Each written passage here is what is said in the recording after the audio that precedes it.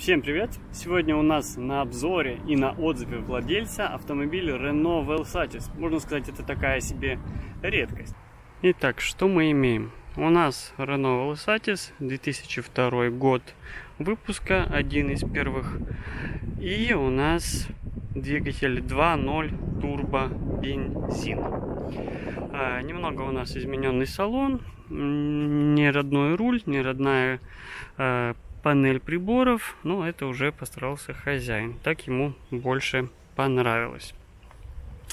Давайте посмотрим, как он выглядит. А, внешность, конечно, это спорный вопрос. Кому-то она нравится, кому-то она не нравится. А, на этом мы не будем останавливаться. Сегодня мы посмотрим самое главное. Это что это за автомобиль, как он себя показал за два года владения? И вообще стоит ли покупать что-то похожее, стоит ли вообще покупать такой автомобиль, потому что это Рено, Рено все боятся, а это у нас еще самый настоящий бизнес-класс, что ни на есть.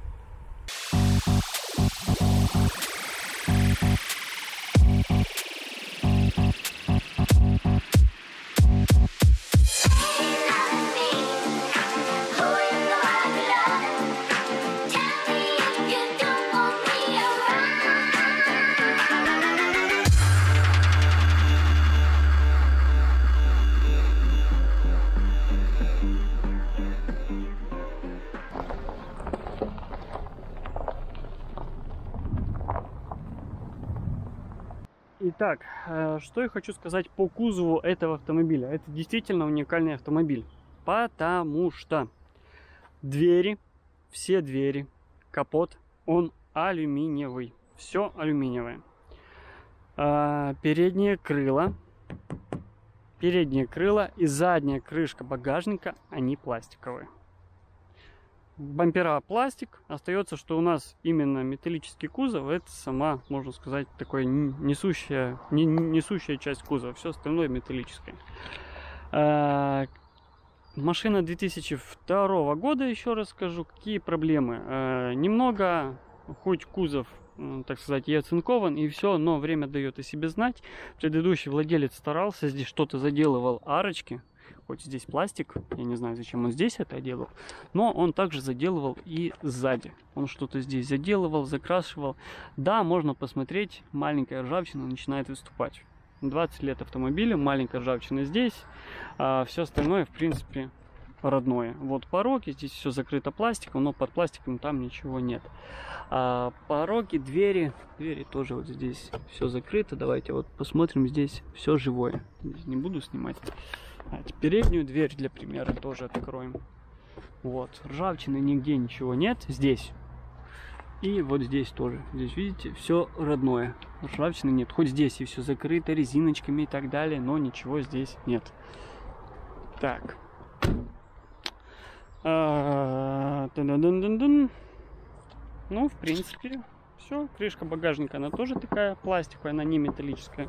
Вот это у нас металл. Вот это металл. Вот это такой стек, стек, стеклопластик. Необычное заднее стекло. Если оно лопнет, с этим будет, конечно, проблема его поменять, потому что оно довольно необычное. Что-то похожее вы могли увидеть на Citroёn C5, в другую сторону C5, C6. Вот так. В принципе, все.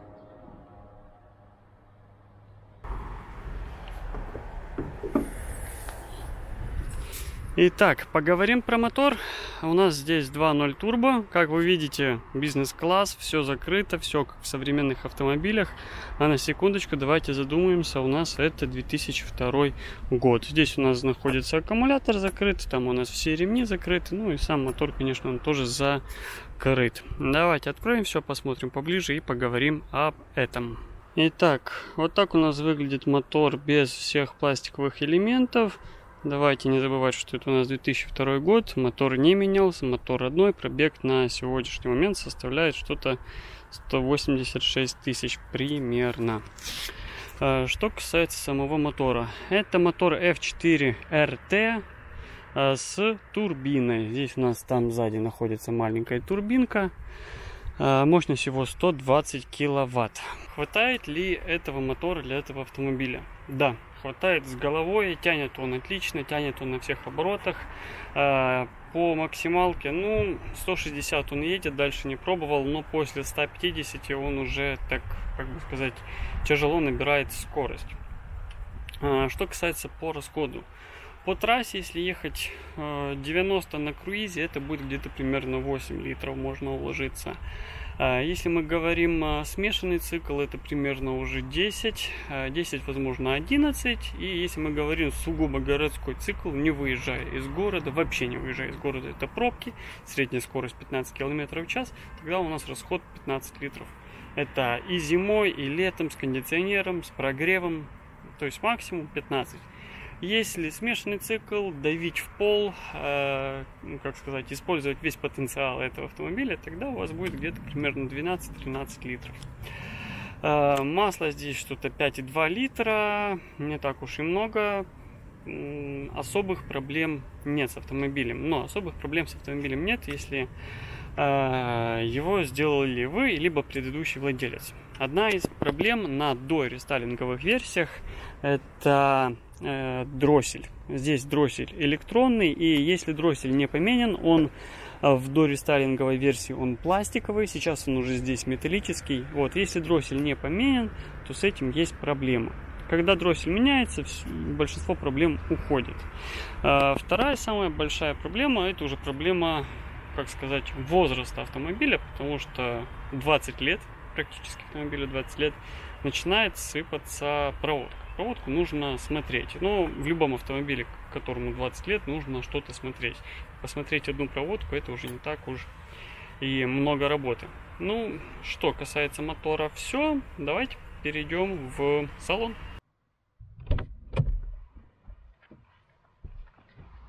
Итак, я, конечно, извиняюсь, но это, это один из тех автомобилей, где обзор салона хочется начать именно с заднего кресла.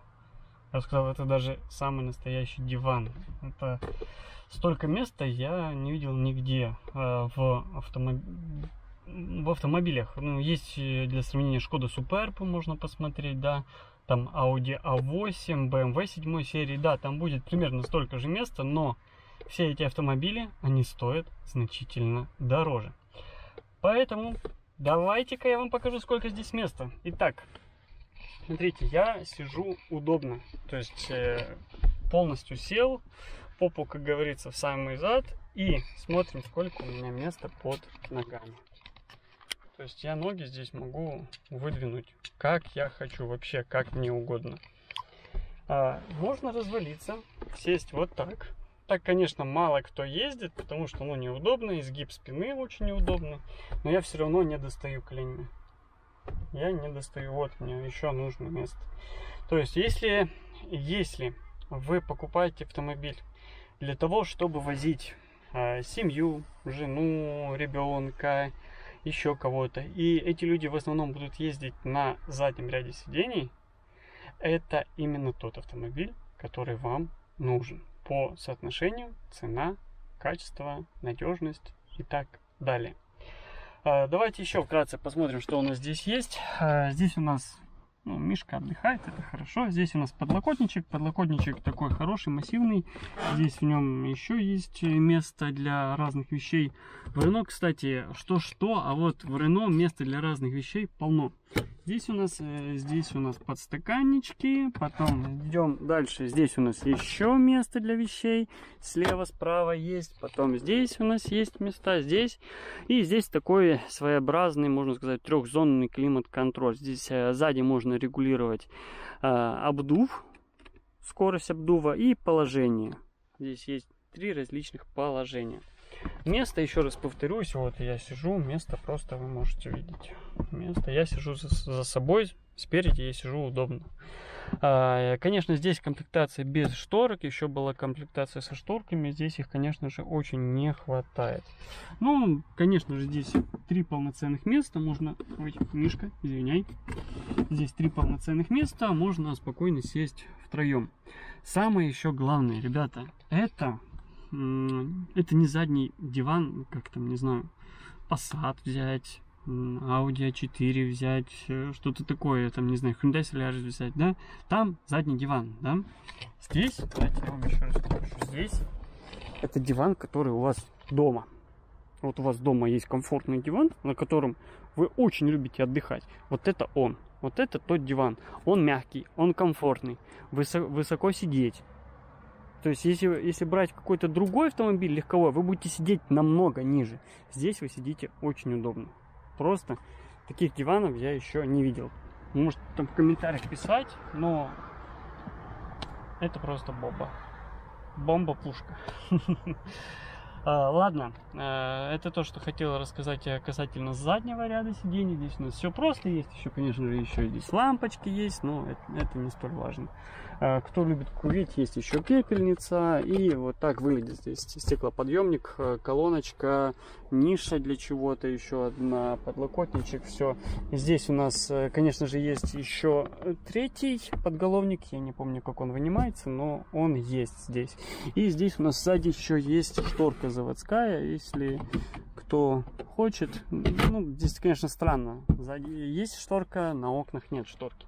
Ну ладно, все хорошо. Давайте перейдем сейчас сюда, на переднее место. Я вам а, все расскажу. А, а давайте, пожалуй, с этого места я вам расскажу. А, что у нас? У нас здесь в стоке был немного другой салон. Здесь были вставки под алюминий. А, честно скажу, они мне не понравились, и я решил их э, заменить на дерево. Руль тоже был простой без дерева, я его тоже решил заменить. Фоточки, как это было, вам прикрепляю, можете посмотреть, убедиться. И приборная панель, приборная панель это от рестайлинга. В до рестайлинга версии она другая, такая скучная, как бы сказать. А, что у нас здесь есть? А, кнопка старт-стоп здесь, э, ключ. Ну, ключ все равно нужно вставлять, здесь по-другому не будет. Двухзонный климат-контроль спереди, а, подстаканники спрятаны у нас в этом отделении, автоматически включается свет, автоматические дворники, ESP, автоматический ручник, все четыре стеклоподъемника электрические, автоматические. Подушек безопасности здесь полная куча, кстати. Кстати, про подушки безопасности. Их здесь полно-полно, они здесь спереди, в стойках, в задних стойках. А, вот, ну как это здесь, уже забыл, как, как называется, шторка большая здесь. То есть по безопасности этот автомобиль очень хороший.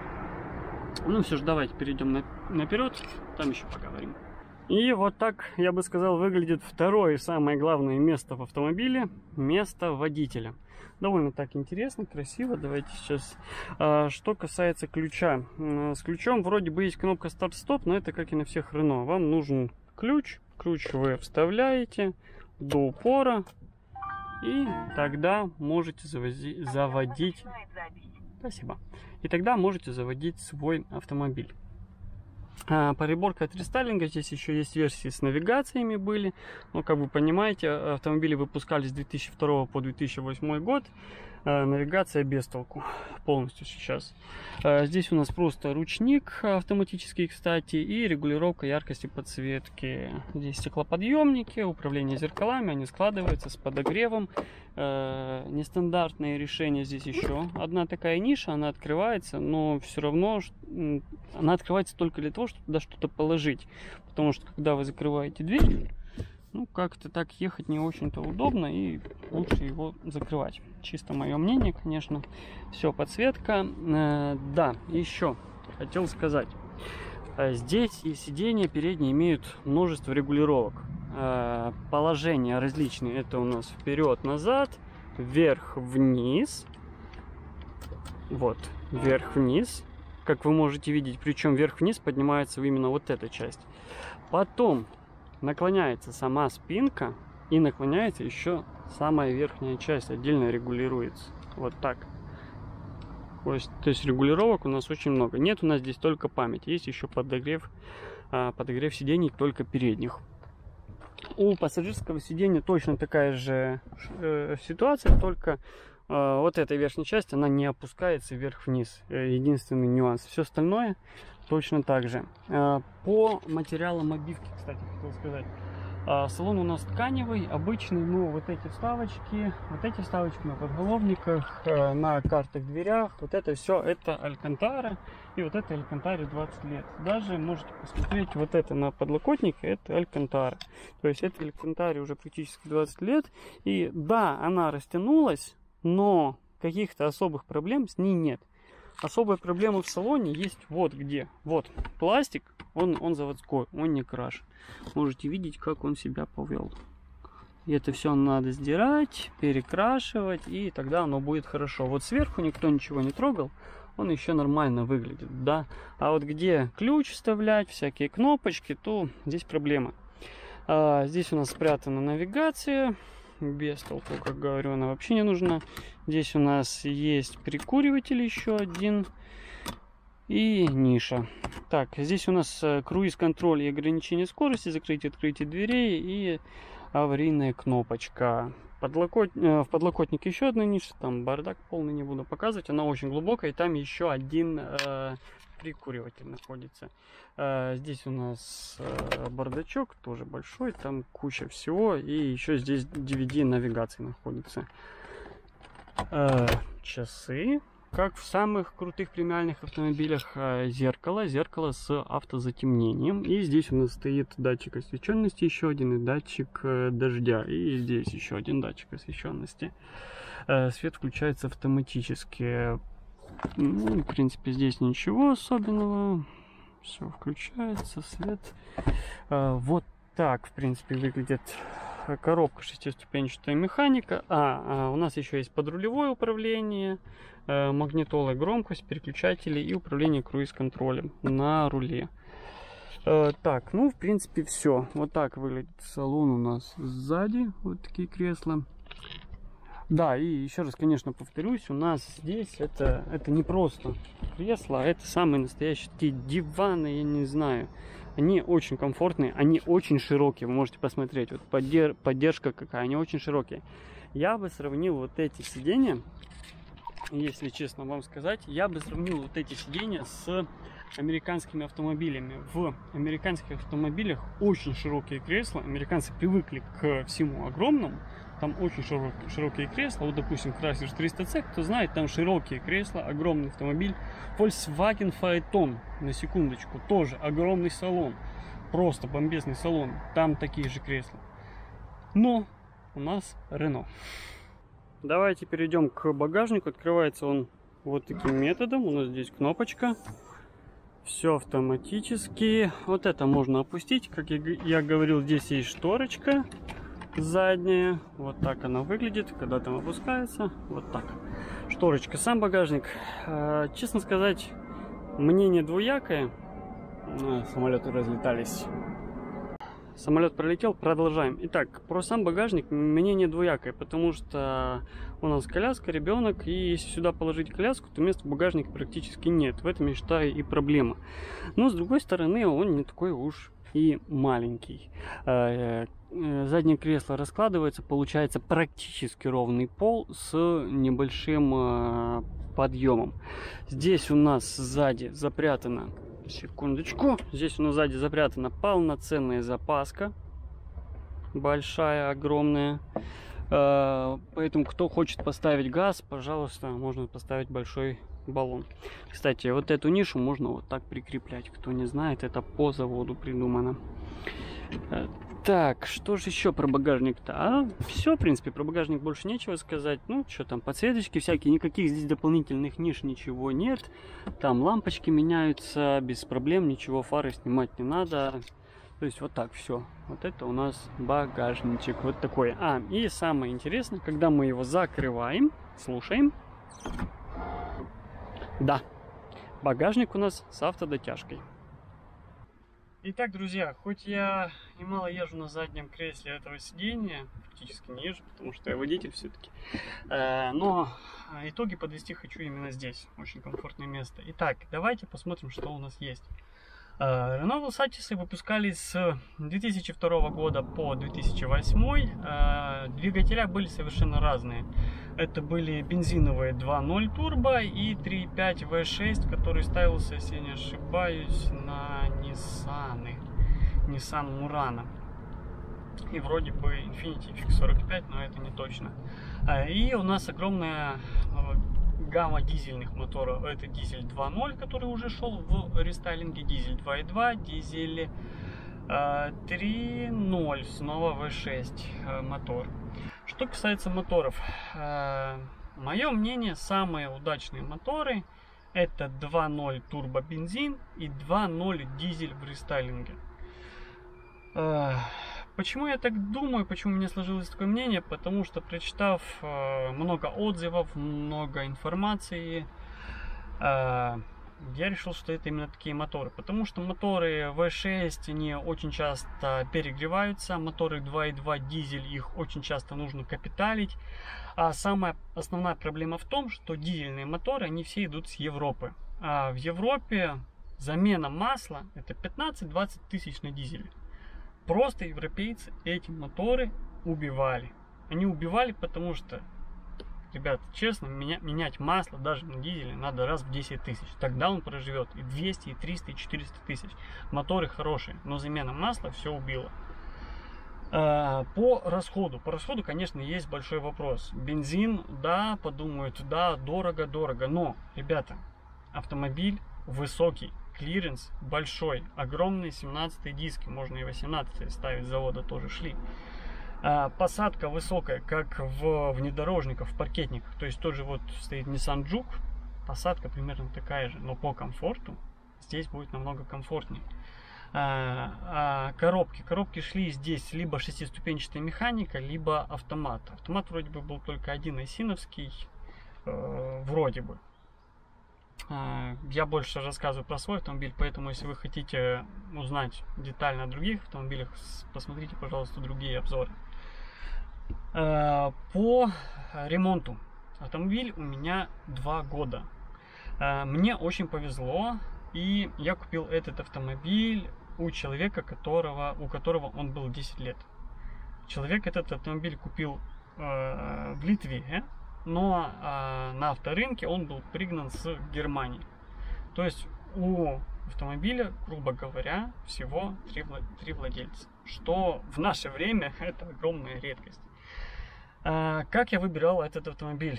Честно, это была случайность. А, я смотрел, все, бюджет у меня был большой. Я смотрел Volkswagen Passat B6, Skoda Octavia A5, Chevrolet Epica, господи, даже не знаю, что там еще, а, Opel Vectra, Opel Signum, Peugeot различные, то есть э, Крузер у меня был до этого, я смотрел, может еще взять в рестайлинге Крузер.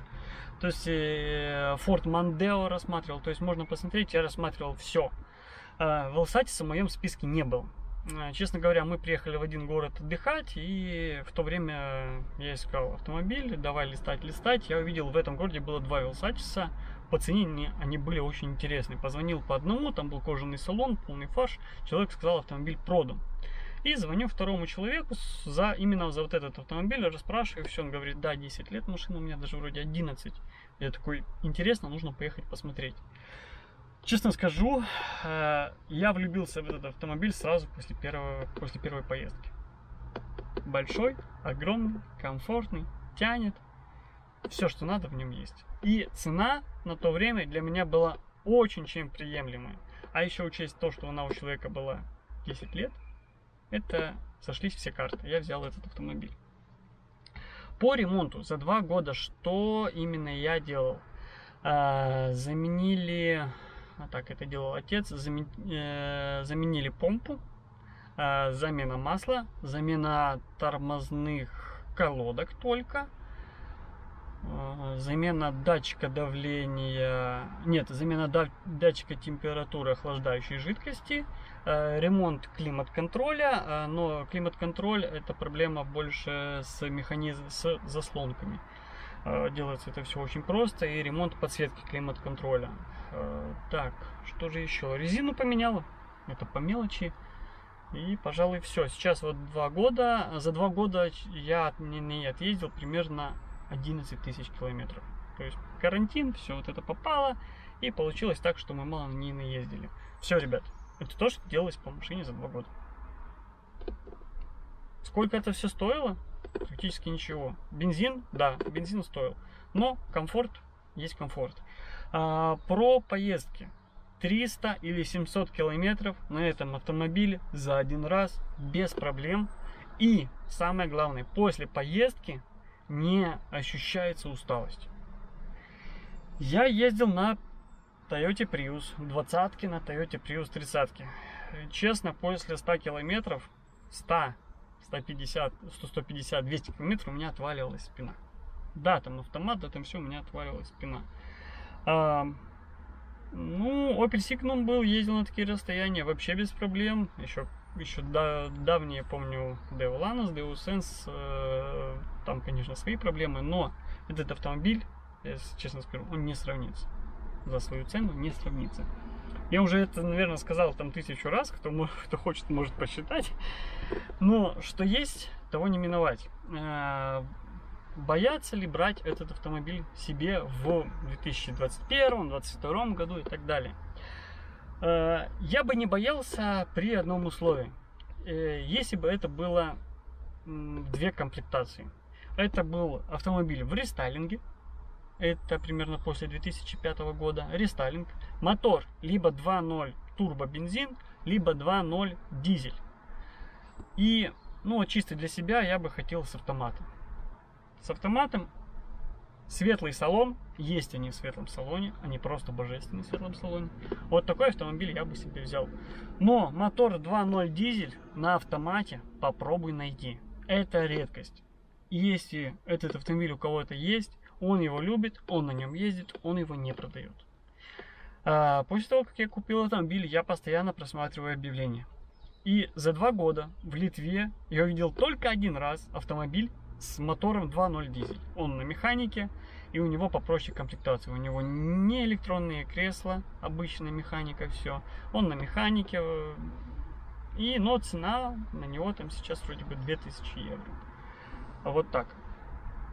Э, так, что же еще? Так, уже много всего рассказал. Э, в общем, большая проблема того, что все говорят, что Рено это плохой автомобиль, Рено не берите, Рено не покупайте. Впрочем, такая же ситуация, знаете, такая же ситуация и с BMW, и с Мерседесами, и с американцами и так далее. И когда ты начинаешь спрашивать у человека, а ты ездил на той машине, про которую ты говоришь? Ребята, в 90% случаев вам скажут нет. Нет, он скажет, нет, я не ездил. Но, блин, это же BMW, ты чё, ребят, это же немец старый, он ломается и все. Не верьте. Смотрите обзоры, посещайте профильные форумы и только тогда составляйте свое мнение. Ладно, э, мое такое вот финальное мнение. Автомобиль очень крутой, э, очень комфортный, очень мягкий. Э, честно, его жалко продавать, э, но как всегда, нужно двигаться вперед. Э, найти замену ему, да, очень тяжело. Особенно, когда у тебя там бюджет ограниченный и так далее, очень тяжело. Но нужно двигаться вперед и что-то будет дальше. А, если у вас есть какие-то вопросы по автомобилю, что-то хотите спросить, если я знаю, я вам отвечу. Но я знаю только по 2.0 турбо бензин, механика и, честно скажу, у меня проблем с автомобилем было мало, поэтому я мало чем помогу, но пишите, возможно, другие люди ответят. Если у вас такой же автомобиль, оставьте свой комментарий о нем. Почему вы его покупали, почему вы его продали, или почему вы на нем а, до сих пор ездите. А, спасибо всем за просмотр. Получилось долго, но надеюсь, я рассказал все, что интересовало вас про этот автомобиль. Всем еще раз спасибо, ставьте лайки, делитесь этим видео, подписывайтесь на канал. Всем пока-пока!